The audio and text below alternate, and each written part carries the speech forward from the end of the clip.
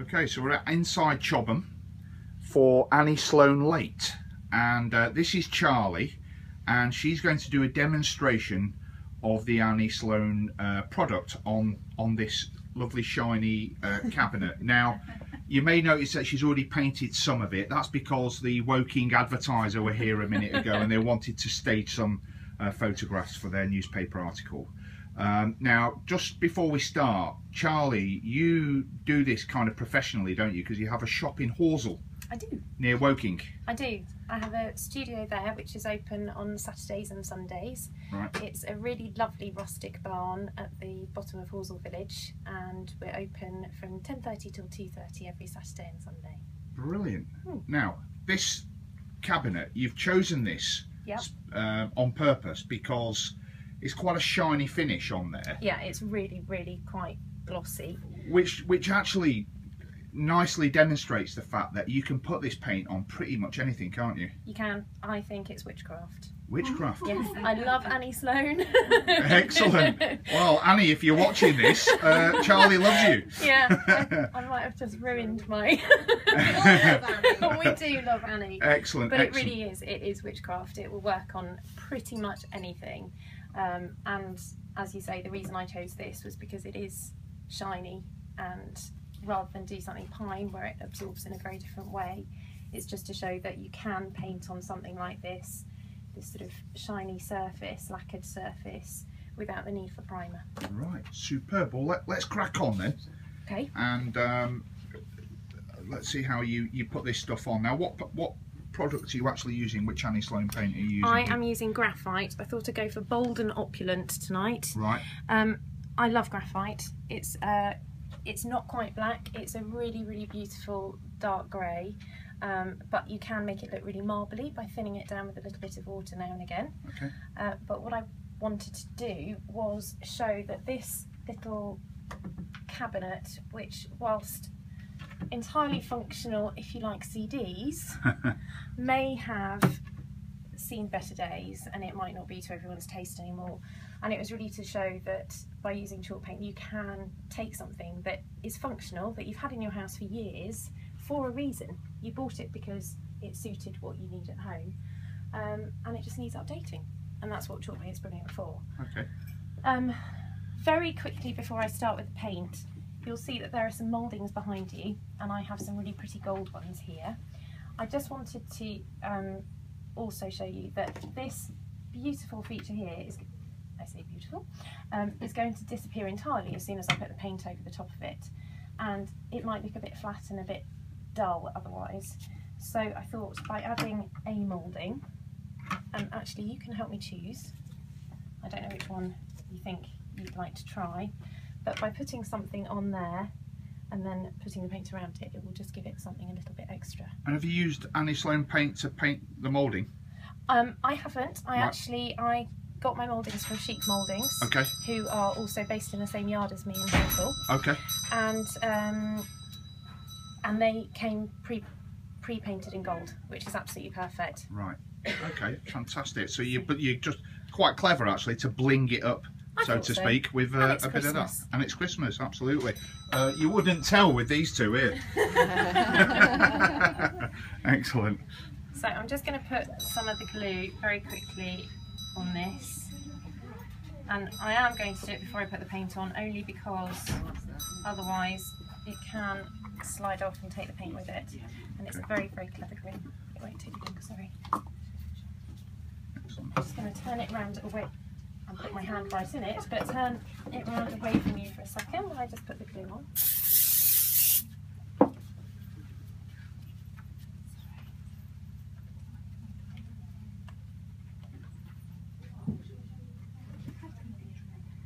And it's a really fast activating glue as well, so it will stick. So, so don't put your fingers on it. Yeah, I have done that. Have it's not brilliant. Right. Okay. So you can, it's actually completely rigid. Oh, look at that. Yeah. Brilliant. So, and I've left it a little bit gappy at the sides, not for any particular reason, just because I'm in a rush. Okay. Fair Um, enough. okay, so what I'm going to do now is redo the bit that I started doing when the Woking Advertiser were here. Right. so, beautiful. Paw print. Yeah, beautiful prints, but also probably not such a bad thing because then you can see that I can just go back over the top of it. So I've shaken the tin and I'm just dipping my brush in and I've learnt I can paint with both hands and really that's all I'm doing and it's going on really really easily. you And are you putting that on quite thickly, are you, or um, sparingly? Would you say, or thick? I find that I kind of vary my style. On this, I'm probably not putting too much on Right. because I don't want it to slide because it is a little bit glossy. It might just start to form little slidey Okay. puzzles. Um, but it's very, very easy and very quick. And you don't have to be, sometimes if you're using another form of paint, you have to be quite careful about your brush marks. Right. But I find that you don't need to with chalk paint because worst case scenario, if it does come out with a few brush marks on it, Yeah. apart from the fact I quite like that because it shows that you've done it intentionally. You haven't just gone to a department store and bought something Well, and the rusticness is part of the appeal, isn't it? exactly right. Right. Okay. Um, but if you do find it's got too many brush marks in it, then it's really easy. You just take a bit of sandpaper to it when it's dry Right. and just buff it off a bit. So there you go. One side. Pretty much done. And while that's drying, I'll not turn it round as I was about to. I'll try and do it a slightly different way.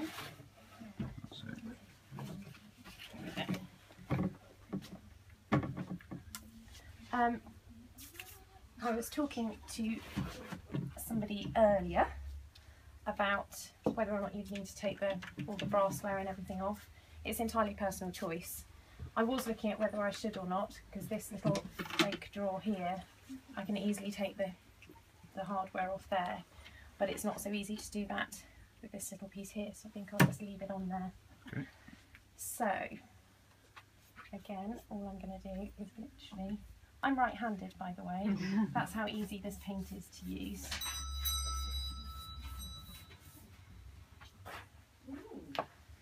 So,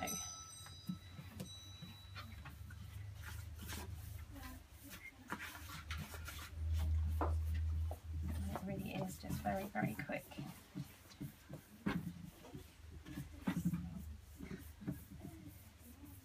And what will happen is it probably will have a few little patches, but as soon as it's dry, I can just go back over it. It's not as if I have to give it a full coat. I was talking to my friend before I started doing this tonight and said I'm a bit nervous because it's the first one I've ever done. And then we realised that actually I talk to myself the whole time I'm painting anyway, and I talk myself through the process so it makes no odds. Right. I've just got people who I can speak to. So you talk to yourself a lot. I do, yes. Right. So it's not a. It's a bit worrying, It's isn't not, it? it's not a prerequisite to be mad then to do this. I don't uh, think so. No, right, I don't okay, think fine. so. Now you just just to to demonstrate as well how quick and easy this stuff is. Yeah, You you as your day job. Yeah. Uh, if- I remember right, you're are you marketing and comms for a very large, well-known sporting organisation. I'm not. Oh right, Nearly. right. Go on. What very, was it again? Very well known large sporting organisation. Yeah. Um, what was it you do for them? I'm PA to the finance. PA. PA. That was it. That was it. Yeah, And um and then by night and at the weekend, you you do this stuff. I transform from Charlotte to Fane to Charlotte Dee. Yes. Right. Fantastic. Now the shop opened in Horsell not that long ago. That's right. It's been about six weeks, I think. Okay, so Horsell in Woking, Surrey. How how's it going? It's going really, really well. It's been. Um, we've had. We had a great day on our opening day. Yeah. Um, we were really, really busy. The locals are beginning to realise that we're there, which is fantastic. I've Yeah. done absolutely no advertising. Right. Um, and You're quite active on social media though, aren't you? I follow you on Instagram. Yes. What is your Instagram account for people? Charlotte Dee Designs. Charlotte Dee Designs. Yeah. And It's a, a really good follow. I would definitely recommend it. Again, Annie Sloan, if you're listening to this, I would uh, recommend you follow Charlotte on Instagram. I think she might get the message.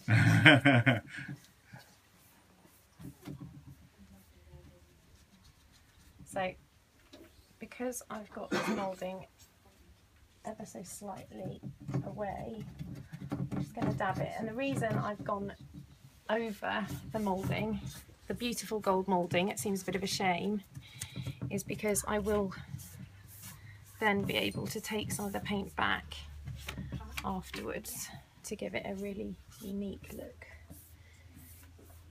There you go. I mean, it's starting to look cool already, isn't it, ladies? Wouldn't you say? Is And an gentlemen. improvement? Yes. Please tell me it's an It improvement. really is. Absolutely.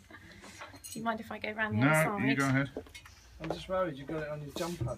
Oh, I get it on everything. Nothing is safe. Poor Fay's beautiful tablecloth is now ruined. Yeah, because there was no paint on it before you came. Yeah, but now it's graphite. Mind you, it blends.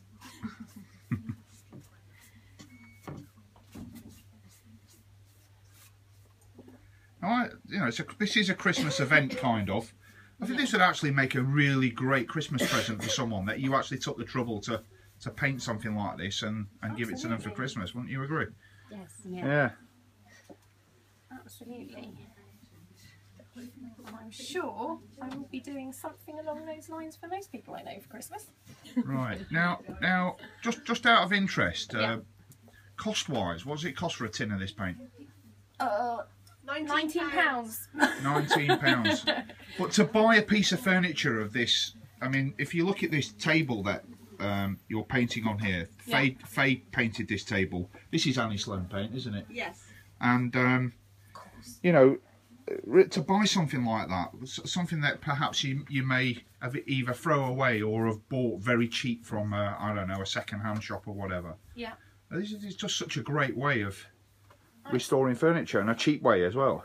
Do you know what I really love about it? I really love the romanticism of it as well because it breaks my heart to think of all of the pieces of furniture, again, that you've probably had, that you've used in your house for years and they just don't look right. They just look a little bit dated. Yeah. And so you have a choice. You can skip it or you can do something with it. And if the function works for you, if its form works for you, then just change the way it looks. Yeah. Hello. I could just tell you that the bench Charlie's painting on was actually made by my husband from scaffold boards. So that's oh. not a glamorous piece of furniture, that's just very basic scaffold boards that have been painted with the Annie Sloan. Wonderful. So there you go. And all I'm going to do now, I can see a few little. I've got a bit of a. Um, I can't think of the artist, but there's some interesting brush strokes going on here. Tony Um, Hart. No, I was actually thinking someone else, Oh, but we yeah, Tony Hart will do. We won't mention him. No, not him. Thank you, Francis. Go. So all I'm going to do now is wait for that to just dry, which will take probably about 20 minutes, Okay. and then come back and give it a bit of a touch up and then wax it. Cool. And I might in the meantime just get it cleaner. Now I'm going to put you ladies on the spot. Is there anyone that wanted to ask any questions? Yes, I did because I was a bit late coming in. Um, you didn't treat the piece of furniture with anything. You just painted straight Absolutely on top of it as It- it, was. it you was- don't need to take the, sh- the varnish or anything. off. No, and actually, I found um, I did a commission. I did a table for somebody recently, and it was a very, very big table, and it was very similar in its lacquered finish. And because I was concerned, because it's a table, I wanted it to be as enduring as possible. So I did try to sand it down a little bit, and actually, what I found is where I sanded it, I got some slightly uncomfortable staining coming through the paint. So actually, if it's been lacquered or varnished, leave it, paint over the top of it. And if you do find that you get any bleed through at all, then you can wax over the top once you finish painting it, and then just put another coat of paint on. Just, just for the for the um, novices like me. Yes. What, what does bleed through mean? if um, sometimes when you paint something, you get some patches that come through. They look like kind of yellow or orange stains, Right. and uh, yeah, if they start to, and they literally do bleed through because they're coming out of the wood Okay. the paint. Um, and you will find that you won't know which pieces are going to do it and which won't. You could look at five pieces of furniture and take a guess, and you'd get it wrong every time. Um, but it's very rare. Actually, most of the time, the chalk paint will cover it really, really well. So you can put the chalk paint back over the top of the wax. Yes, That it's will take the amazing. wax- Oh, right. It really is. Witchcraft. Telling you it's witchcraft. I think I think that might be my hashtag for this video. It's witchcraft. I think Annie would prefer more than paint, but we'll go with witchcraft. Fantastic. Right, so we're going to let this dry now, and then we'll come back. some- Is Oh. it hard wearing? It is, yeah. It. Um, I find that um, I've got.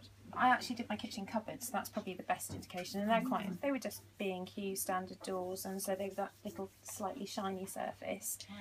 Um, I put two coats of chalk paint on, and then waxed over the top, and that was. I'm, I'm messy and I can't do it. Yeah, I know, and that was probably about six months ago, and they're still absolutely as they should be. A, a- a friend of mine came here to Inside Chobham not that long ago and bought a load of chalk paint to paint their kitchen and restore their kitchen. So yeah, a great great idea. Yeah. Would you, would you wax or lacquer? What one would you? I wax, um, and I love using. Um, there are two waxes that Annie Sloan does. There's the clear wax, which you would always use to seal in your paint, um, and it bonds with the chalk paint, so it just holds it in place. The only time you wouldn't use it is if you're painting your garden furniture, because the wax will lose its bond with the paint, and then it will start to be a bit yuggy. Um, but on garden furniture, if you if you don't wax it, then when the weather gets into it, you will eventually end up with that beautiful French rustic kind of slightly peely look. But I, I didn't believe it. I was very sceptical because how can one paint do all of those things? It just doesn't seem plausible. And I had a bureau that I painted and it looked dreadful. Not because of the paint, because of me. I chose completely the wrong colour to do it in. And I got so fed up with it and I left it outside in the rain. And um, and I thought, well, that'll be it, it'll be ruined. And I went out three days later, and in fact, what was happening was the veneer on the bureau was coming off with the paint attached to it. So the paint was absolutely intact, but the veneer was the bit that had crumbled away in the weather, which is extraordinary. Um, but then, if you want to add some interest and some some different styling, then you would put dark wax over the top. And a lot of people are frightened of dark wax, but I love it. I absolutely love it. It's really, really beautiful. It gives a really different, it gives that beautiful aged patina of something that has been in the family for hundreds of years and just looks amazing. And is that So- as easy to apply as the paint? Yeah. The wax is really easy. Um, there are wax brushes which you can use, which are absolutely brilliant, and particularly on this, it will be very useful to get into all the crevices. Um, and I'll show you if you're still here when this is dried, which it is doing. Starting to dry now, isn't it? Yeah. Um, or you can just use a cloth, a lint-free cloth, or old t-shirts. I find also very good. I'm getting a nod from Chief Elf over there. Wise old elf. um, yeah, so so then you would just put on put on a, a kind of fairly even coat of it, and then just wipe off any excess, and then in 24 hours it will start to harden. Um, and over the course of five to six weeks, it will harden up really, really well, and it will become really enduring. But of course, most of us don't have time to sit around and wait for five to six weeks for a piece to harden, but it will it will be very enduring. Yeah.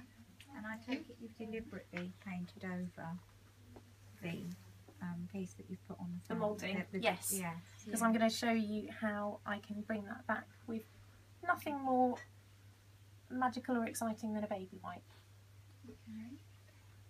Um, if, if you decide to um, rub parts of it down Yeah. to get sort of shabby chic look, Yeah.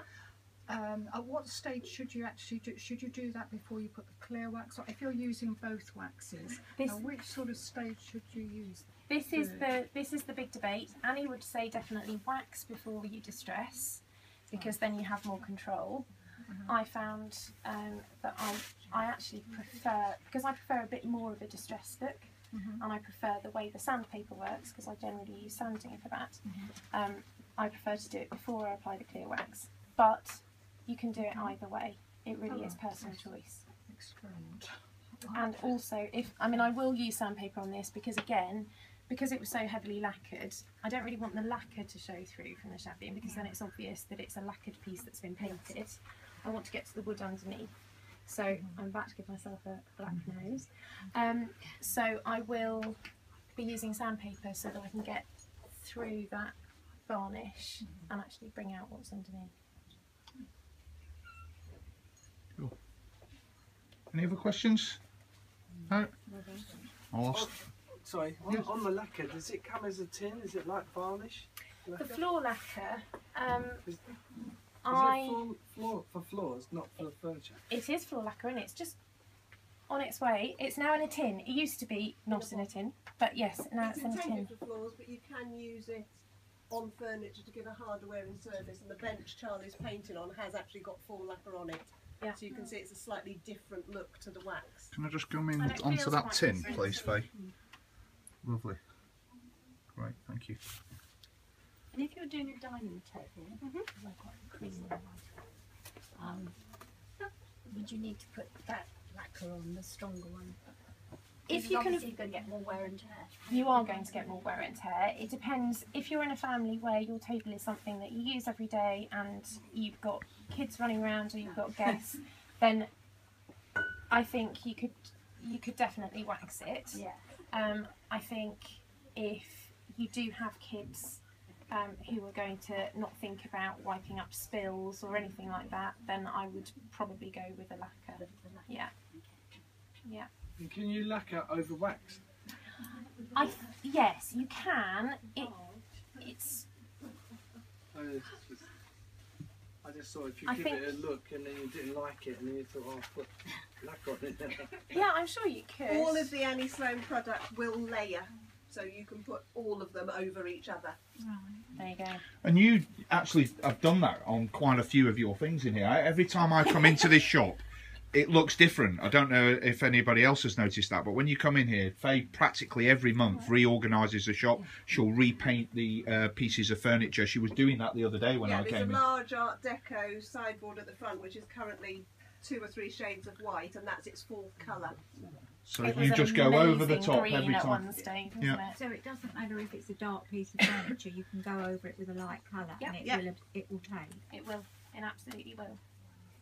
Um, I wanted to ask, um, although you didn't sand this piece down, if you were doing something like a pine shelf, Mhm. would you sand anything down at No. all? You just don't. You don't Unless do that. rough. Right. Yeah. Just to get you the needed finish it- rather than If the you need colour it, of it. exactly right. Um, you don't want to get any of. You don't need to take anything off that's on there. The only reason you might want to sand it is if it's got a couple of spring through sticking out. That would be really the only reason. And I've got a couple of shelves that I've done that were actually they were beyond rustic, but I just painted straight over them because it worked with the piece and they they look fantastic. So it's all personal choice really. Cool. How are we doing? We need. It's it's it really is starting to dry very quickly, isn't it? Yeah, it does. Is that side? That side must be nearly done. Uh, okay, so the um, the cabinet's dry now. Yep. Ordinarily, you would touch it up, Yes. but because this is a demonstration and people want to get home and all the rest of it, Yep. um, we're just going to go for it now. So, what, what exactly is it you're going to do now? First of all, I'm going to take my sanding block to it and just, as I said earlier, just try and get through some of the paint um, and some of the varnish underneath, Right. just to highlight the features really and make it look a little bit less like it's been manufactured and more like it's been done with love.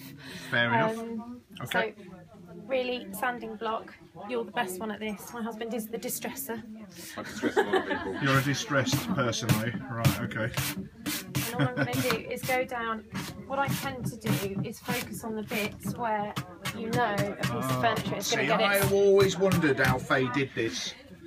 There you go. Really, you just want to. Again, personal taste. You can do as little or as much as you want. Um, but we tend to just start with the bits that you think are going to. Yes, you will. Um, with the bits that you think are going to get knocked in daily life. Okay. And also if there's some really interesting features on a piece.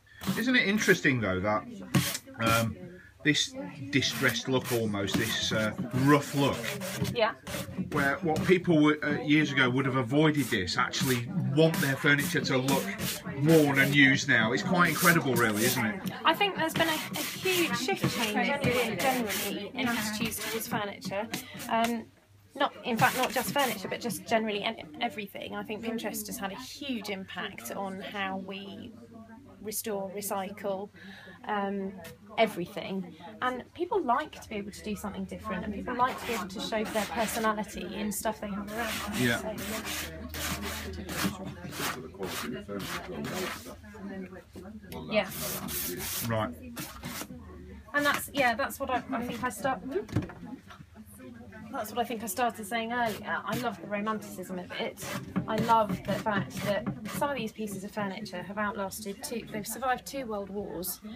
Why throw them in a skip? They deserve more than that. They deserve. Except this CD cabinet wouldn't have been in a world war, I don't think. It maybe should have been. Yeah. so look, you're even distressing the metal handle there. Yeah. So that brassy finish there has now become quite. It's gone straight through that. Right. Um, And the, the paint that's on there, yeah. will that will that stay on there, or will it come off on people's hands? Do you think? This bit. Yeah. Because I'll wax it, it would Oh, come stay. off. But what I might do actually is take a bit of a baby wipe to it, as I'm going to do with this, Ah, okay. um, and just make sure that Fair it's enough. not. Yeah, yeah. And this is what I mean. You can see that the the varnish here is still here, but I've got down to the wood here, and it's kind of that mix of the two that I really like. Yeah.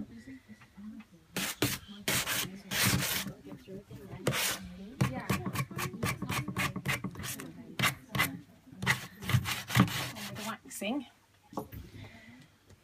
making sure to get the clear, not the dark. You got a baby wipe there? That's a very good point. So you're going to baby wipe. Uh, what what are you going to baby wipe now? What I'm going to baby wipe is this moulding here, which Right. was that beautiful gold before I started. Yeah. Um, and because you can see the paint's gone into the crevices there Yes. and all the beautiful folds of the drape, Yeah. I'm just going to take a baby wipe and just very gently go over the top, just so you can see a bit more of it coming through. Right. Brilliant. That looks really cool, doesn't it?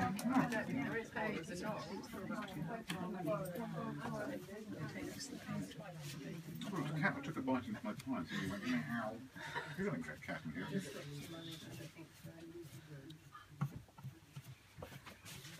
So just to give it a bit more interest. So it's not as gold and brassy as it was when it first went on. Okay.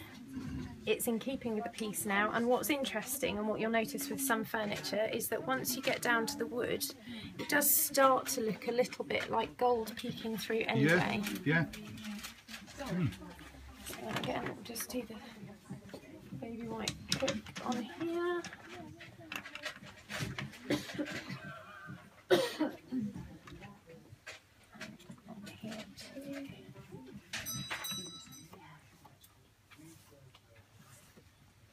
Just a different technique, and everyone will find their own preferred option.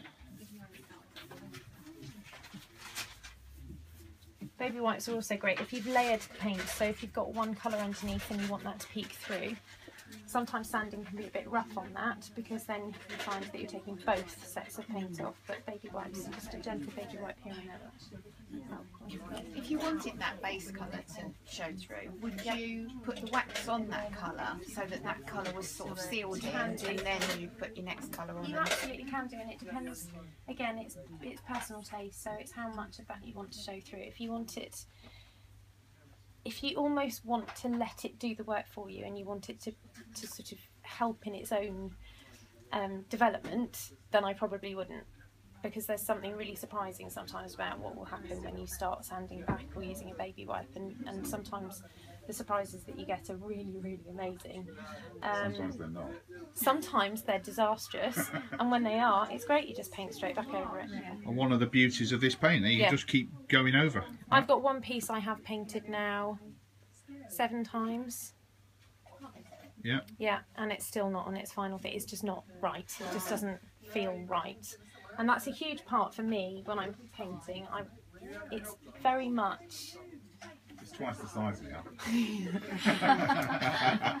I get very emotionally attached to the pieces that I paint, and the pieces that I choose, I try to find things that have got some some character and some quirky individual um, features, and uh, and I will sit and look at a piece for up to three months until I actually one day will just go right. I'm doing that today, and I'm doing it in this colour, and it really is a kind of. I thought I was mad. We've talked about me being mad before, but um, I thought I was mad because it almost, it is almost like the furniture is telling you what it wants. And I thought I was mad, and then I read that Annie said it too. There you go. Great minds think alike. I alike. know, love that lady. Right, so that now, I think that's ready to wax. So Cool. I'm going to take a brush. So is that is that brush an Annie Sloan product? It is an Annie Sloan product. Okay. I have tried using, in desperate times, when all of my other brushes, and I have a lot, are covered in too many different layers of paint. I've tried using other brushes, and actually they just, you can use them, but there is something, these have been designed specifically to work with chalk paint, and I find that some of the other brushes, the, the paint will kind of bobble up a little bit in the in the bristles and it will just change its texture too quickly. Okay. Um, but certainly with the paint brushes, always Annie Sloan and the wax brushes, again, because of the shape of them. I mean, that- imagine shaving with that. Hmm.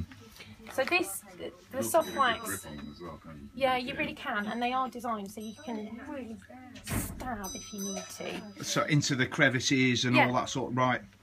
Um, the wax itself, texture-wise, I suppose it's a little bit like I don't want to say lard, but lard. um, and all I'm going to do is just dip the brush in a little bit. Let me see. Just get it covered. So it's not too much. Wipe a little bit off. And again, there are so many different ways. You find your own own way of waxing. There's no right or wrong way because you can always undo everything. So I'm just going to brush it on. And you'll find that you can see where the wax has gone on because it changes ever so slightly the colour. Hmm. I don't know if you can see that there, can you? And um, you will also find, depending on how thick the paint is that you've applied, that sometimes the waxing will do some of the distressing for you.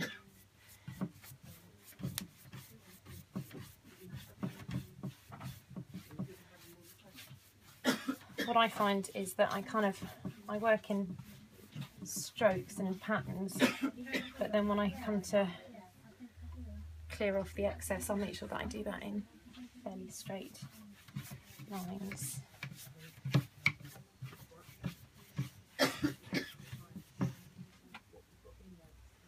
Fay, I've graphited your wax brush.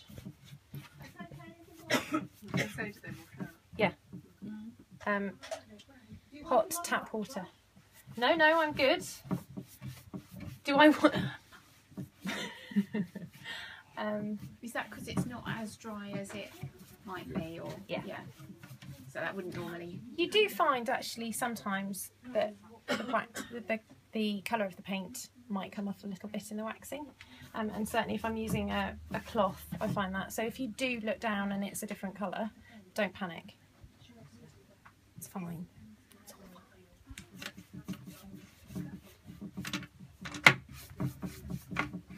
And that's the advantage of using a brush as well. You can really get in to awkward places like door and drawer handles.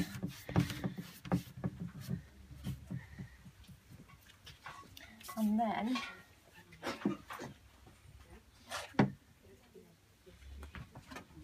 Fay, have you got one of your magic wax cloths? Yeah. So what's so magic about one of these cloths? Absolutely nothing. Right. It's just a cloth and it means I don't use my detail. Ah, fair enough. Um, it is witchcraft, of course, everything is witchcraft. These are great actually. The, the key thing is to make sure that you're using something that's that's not going to just shed everywhere. So um, this cloth is actually feels a bit like kitchen roll, looks a bit like kitchen roll, but it's just a little tougher. And then all I'm going to do is just take the excess back.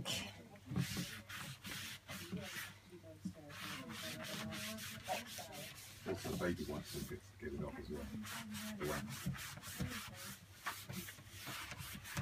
Yeah, if you're doing a mirror, there's a huge debate that rages in the um, chalk painting world about whether or not you should mask off a mirror.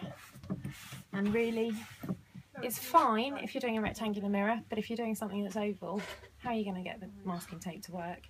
Um, what I find works just as well is painting a little bit carefully. It doesn't matter if you go a bit splodgy because chalk paint comes really easily off a mirror with a thumbnail or a, um, a razor blade if you're careful not to scratch the glass, and then a bit of a baby wipe. It's just extraordinary stuff. Good old baby wipes, eh? Yes, you wouldn't want to use it on babies because they're so abrasive. Yeah, that's right. now that looks absolutely fantastic, doesn't it? It really do does. think? Yeah. And I can see here there are some patches where perhaps the wax isn't in as much as I'd like it to be. And partly also that's because I used graphite, because graphite, as I said, it can it gives that really beautiful marbled look. So I'm just going to go back over the bits where you can see it hasn't necessarily got in.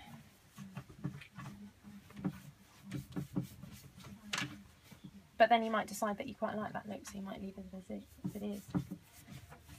And what I might do is actually, if anyone's feeling brave enough, um, if you touch waxed bits compared to the unwaxed, you can see really easily where you have done it and where you haven't. Because you'll also get a bit of a, you will get a bit of a squeak.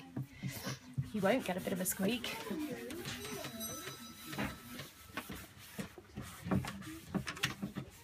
And then what you can do is leave that for overnight and then tomorrow morning get in and just really buff it if you want a really high shine surface. But if you like it just like that. Yeah, Yeah. exactly. But if you feel, if anyone wants to feel the difference, feel. That's the wax feeling and that's not waxed. So you'll always know if you've missed a bit. Yeah. There you go. Quite different. Hmm.